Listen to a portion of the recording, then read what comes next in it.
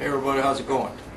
Uh, I gotta tell you, I got this pop-up today. I don't know where it came from. Actually, it came in after I installed MetaCafe because uh, I was checking their site out to see what it's all about. And a few minutes later, I got this pop-up. DriveCleaner.com says my files tracks of adult sites. So I don't go to adult sites. So I definitely know that's fake.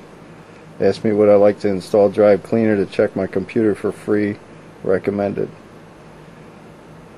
Don't click on OK or cancel. Click on the red X in the corner. So I clicked on the red X and it took me to a website anyway. Then it's got this pop-up in there saying it's found 624 sensitive files and pornographics. Erase them now.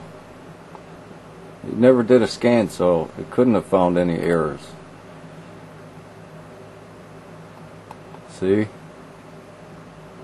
Win32 spyware, drive cleaner. Abort connection.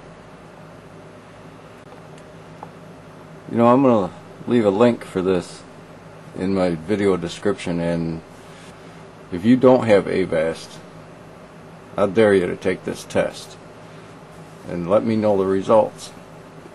I'll show you how to get out of it right now, but uh, Avast caught this.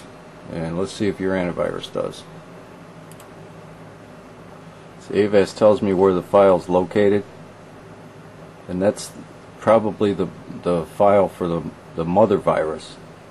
You open that Trojan horse and it just re keeps recreating itself. Delete. If it doesn't go away, we can manually go to that address and delete it in safe mode. So let's copy that address. It won't look exactly the same because it's been shortened for DOS. But we know where that is.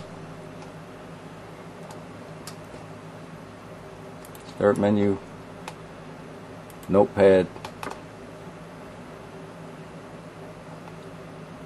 notepad came up in the background right click paste.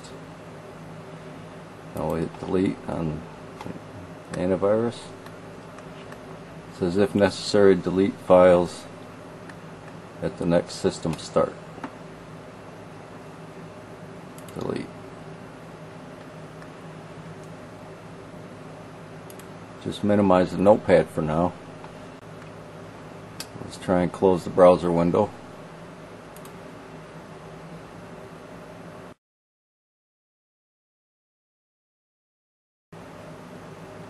right click my computer, go to explore.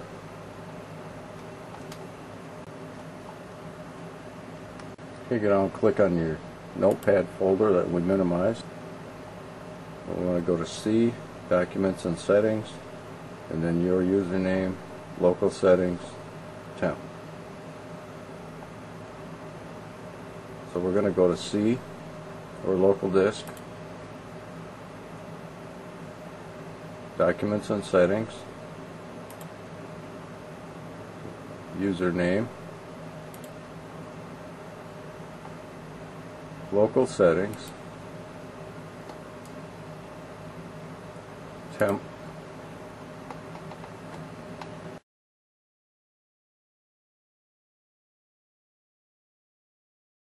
You see, you've got Windows Explorer open. Go up to the top at Tools. Tools, select Folder Options, click on the View tab,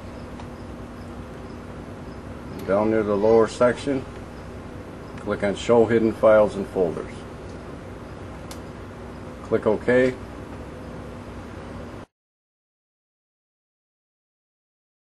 To scroll down just a little bit take the check mark off hide protected operating system files because that's what NT loader is, is operating system file.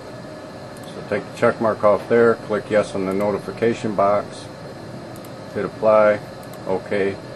Now NT loader will show up for you.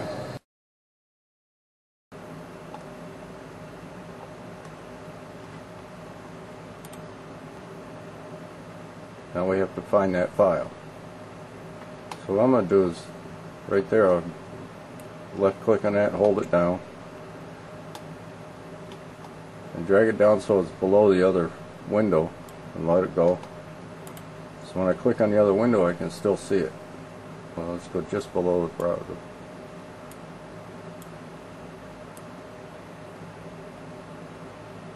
B.